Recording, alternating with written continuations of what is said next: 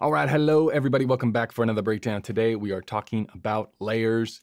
Again, I think this is the last Super Bowl commercial that we look at. This is Pringles.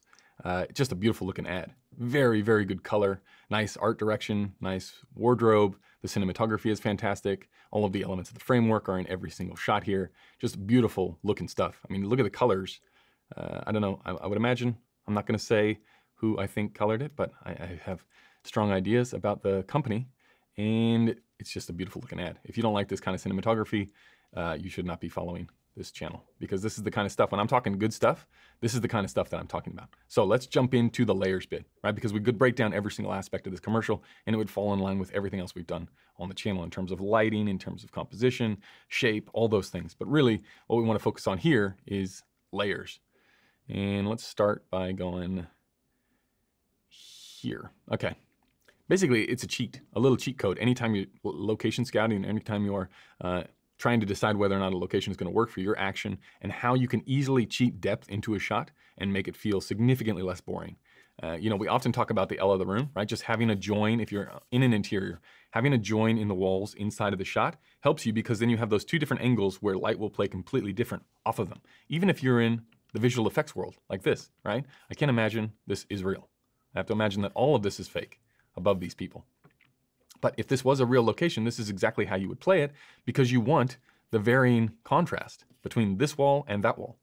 Then layers, always be thinking the more layers that you can fit in a shot, the harder it's going to be for the person to pick out where you want them to look if you don't light it properly. But if you light it properly and you tell them exactly where to look with what the hottest things in the image are, and then you salt and pepper things in all over the place, the, the last step is those layers. The more that you add, the more complex it feels, the more richness there is to an image. And If it was just, if you just had a wide shot without any of this business here, without any of this stuff here, with these reflections in the glass, it starts to get really, really boring and flat. And I know sometimes it can be hard to think in boring and flat terms when we only really look at the best commercials out there, which are going to be done by really fantastic cinematographers that won't leave things flat. Uh, you just have to imagine that if you remove all that stuff, it's boring. And that's probably why your stuff looks boring, because you're not adding as many layers as possible because these things take time. As long as you're building it into the set though, as long as you're building into the discussion early on, whether that's in pre-production, it's on any of the scouting periods where you're always thinking to yourself, how can I fit more stuff in? Especially if you're a working cinematographer and you're working on jobs with a proper production designer or art department, just like they are your best friends of like, hey, can we get more stuff in here? If this wall doesn't exist, right, at this location, can we just get two pieces of glass with some wood on the side so that I can use them in the shot, so I can just randomly put them there. We never see this location, right? We're never looking this way inside this room.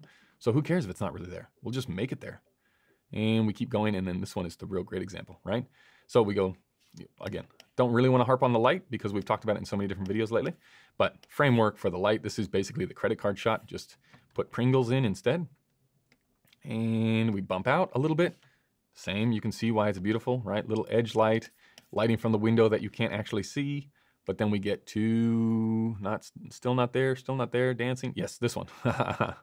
These guys having a good time. I mean, this is a good looking ad, right? I like the little accents of color up here.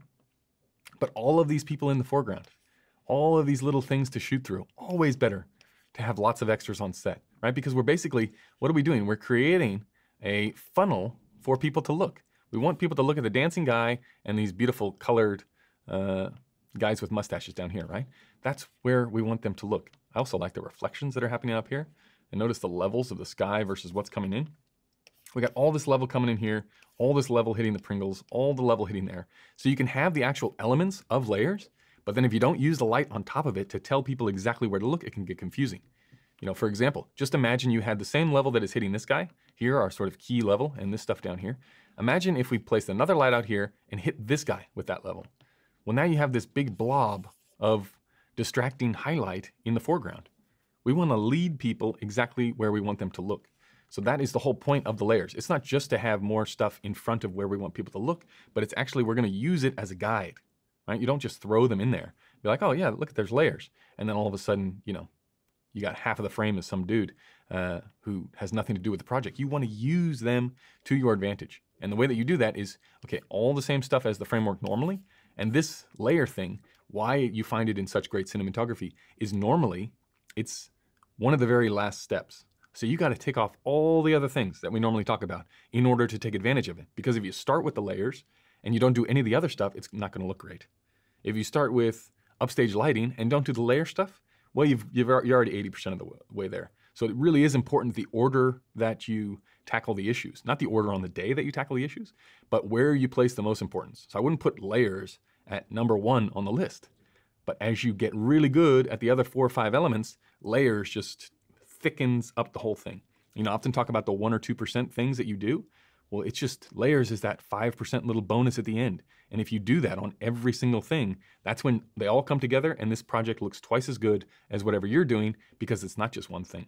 It's all those little things done really, really well. And then right at the end, we sprinkle on the extra stuff because we have the time, because we have the experience, or the cinematographer does, of being on set and controlling when this happens, when that happens, what I should be focused on now. And then finally, those last seven minutes of lighting, okay, this is how we're going to take full advantage of everything that we've built. So just a quick look at this Pringles ad.